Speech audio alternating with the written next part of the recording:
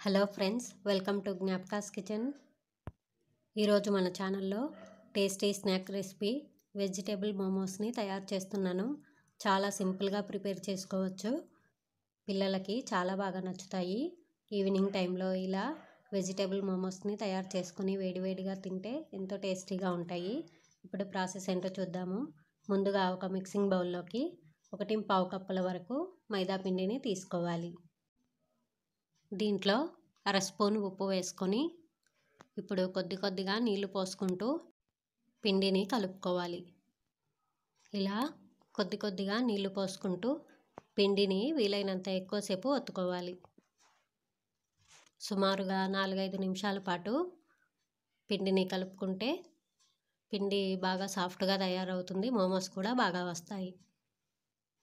ఇలా నాలుగైదు నిమిషాల పాటు ఈ విధంగా బీట్ చేస్తూ పిండిని కలుపుకుని ఐదు నిమిషాల తర్వాత ఇలా సాఫ్ట్గా తయారైన పిండిని పైన కొంచెం ఆయిల్తో గ్రీస్ చేసి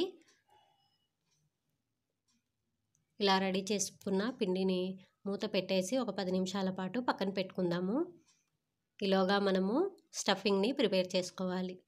స్టఫింగ్ కోసము ప్యాన్లోకి ఒక టేబుల్ స్పూన్ నూనె వేడి చేసి అందులో ఒక టీ స్పూను సన్నగా తరిగిన వెల్లుల్లి ఒక స్పూను సన్నగా తరిగిన అల్లము రెండు సన్నగా చాప్ చేసుకున్న పచ్చిమిర్చి తరుగు అలాగే బాగా సన్నగా తరిగిన క్యాబేజీని కూడా వేసుకోవాలి. రెండు కప్పులు క్యాబేజీ అయితే సరిపోతుంది. మనము పిండిని తీసుకున్న కప్పుతోనే రెండు కప్పులు క్యాబేజీ అరకప్పు సన్నగా తురుముకున్న క్యారెట్ తురుము ఒక చిన్న క్యాప్సికం తరుగు వేసుకొని రెండు మూడు నిమిషాలు కలుపుకోవాలి. మరీ ఎక్కువగా కుక్ చేయనవసరం లేదు. వీటిలో ఉన్న పచ్చిదనం పోయేదాకా ఫ్రై చేసుకుంటే సరిపోతుంది. ఈ కూరగాయ ముక్కలన్నీ వీలైనంత సన్నగా చాప్ చేసుకోవాలి. ఇందులో ఒక టీ స్పూను మిరియాల పొడి రుచికి తగినంత ఉప్పు వేసుకొని ఒకసారి మొత్తం బాగా కలిపి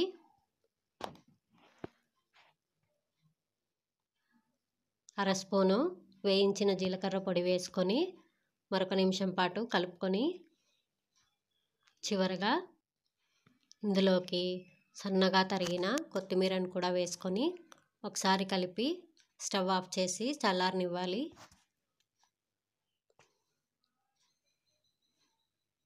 ఇది చల్లారే లోపల మిగతా ప్రాసెస్ని చూద్దాము. మనము కలిపి పెట్టుకున్న పిండి కూడా బాగా సెట్ అయిపోయింది. ఈ పిండిని మళ్ళీ ఒకసారి కలుపుకొని చిన్న చిన్న ఉండలుగా ప్రిపేర్ చేసుకోవాలి. మనము పూరి చేసుకునే ఉండల కంటే కూడా చిన్నగానే ఉండాలి.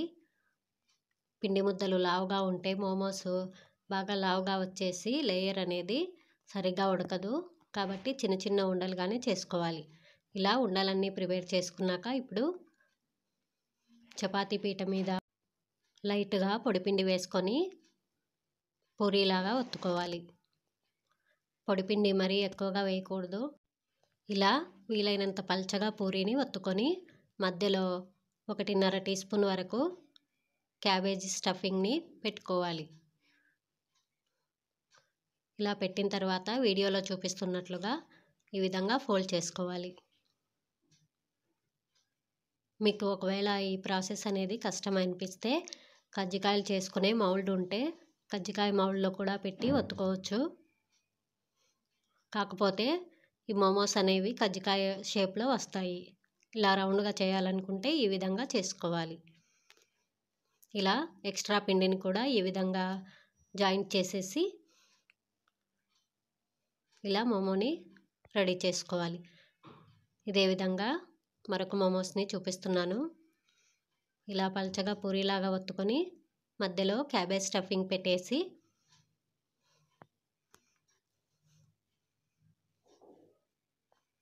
ఈ విధంగా ఫోల్డ్ చేసేసుకుందాం. ఒకవేళ మీకు ఇది స్టిక్ అవ్వకపోతే చేతికి కొంచెం తడి చేసుకొని అంటించుకోవచ్చు. సరిగ్గా అంటుకోకపోతే మోమోస్ ఉడికేటప్పుడు స్టఫింగ్ అనేది బయటకు వచ్చేస్తుంది కాబట్టి నీట్గా ఎక్కడా కూడా ఓపెన్గా లేకుండా కవర్ చేసుకోవాలి. ఇలా మోమోస్ అన్నీ రెడీ చేసుకొని మీ దగ్గర స్టీమర్ ఉంటే స్టీమ్ చేసుకోవచ్చు. లేదంటే ఇలా నేను చేస్తున్నట్లుగా ఇడ్లీ ప్లేట్లకి నూనె కానీ నెయ్యి కానీ రాసుకొని వీటిలో మోమోస్ని పెట్టి ఇడ్లీలాగా ఆవిరి పైన కూడా ఉడికించుకోవచ్చు.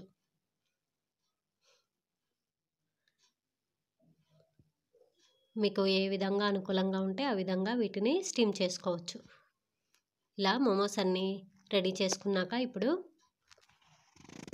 ఇడ్లీ పాత్రలోకి ఒక గ్లాస్ నీళ్ళు పోసుకొని ప్లేట్స్ని పెట్టేసి పది నిమిషాల పాటు మూత పెట్టి మీడియం ఫ్లేమ్లో ఉడికించుకోవాలి.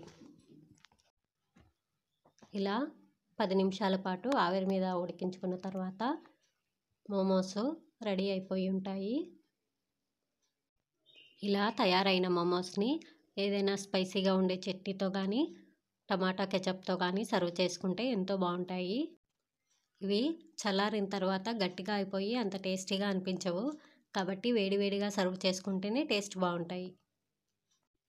ఇలా ఈవినింగ్ టైంలో పిల్లలకి వేడివేడిగా మోమోస్ని తయారు చేసి పెట్టండి. ఎంతో టేస్టీగా తినేస్తారు. ఈ వీడియో మీకు నచ్చినట్లయితే తప్పకుండా లైక్ చేసి షేర్ చేసి మరెన్నో రెసిపీస్ కోసం మన ఛానల్ని మర్చిపోకుండా సబ్స్క్రైబ్ చేసుకోండి. బెల్ ఐకాన్ని కూడా యాక్టివేట్ చేసుకోండి. Thanks for watching.